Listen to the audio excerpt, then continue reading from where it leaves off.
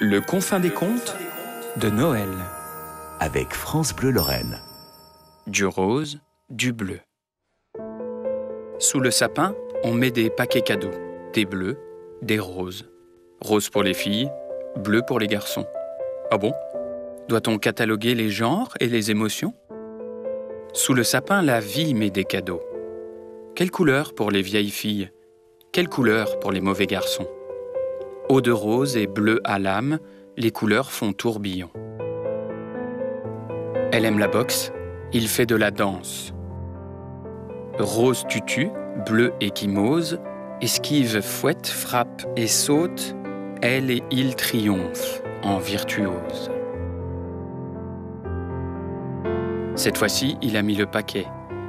Elle regarde les bleus sur ses bras, elle rêvait d'une vie en rose, elle se roule en boule sous le sapin, elle ne dit rien, rêve d'autre chose.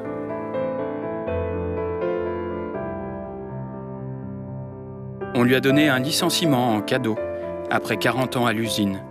Dans son casier d'ouvrier, il range son bleu de travail, un autocollant avec une rose.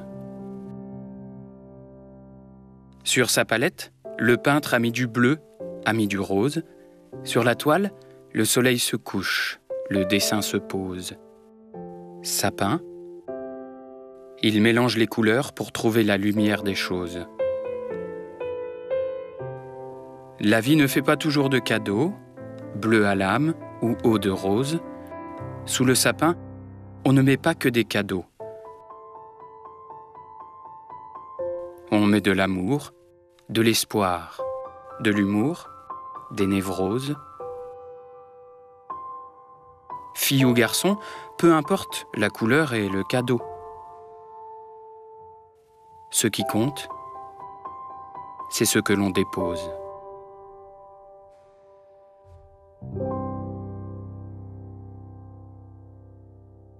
Le confin des contes de Noël. Avec France Bleu Lorraine.